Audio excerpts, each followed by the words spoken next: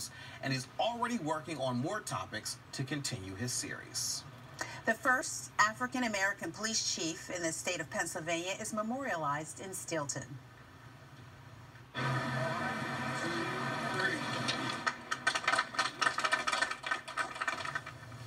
The borough unveiled the new name on its municipal building in October. It's dedicated to former police chief Frederick Douglass, who served in the position from 1968 to 1975. He was the first African American chief in the borough and the state. Frederick Douglass died in 2006. We hope you enjoyed learning about America's hidden history. Thank you so much for joining us. Have a good night.